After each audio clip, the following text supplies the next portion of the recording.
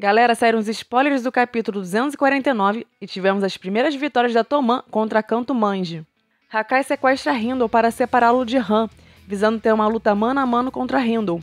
Mitsuya manda Han se levantar, mas ele responde: Estúpido, não aguento mais.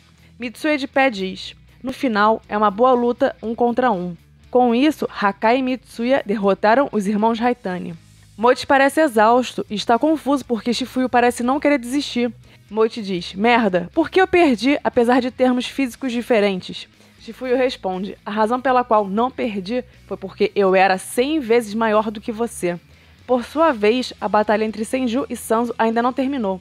Senju parece exausta e sua cabeça está sangrando, enquanto Sanzo aparenta estar bem. Sanzo diz: Quem você pensa que te criou desde criança? Eu entendo claramente os seus movimentos. Senju está com problemas porque Sanzo luta armado. O que você achou disso tudo? Comenta aqui embaixo.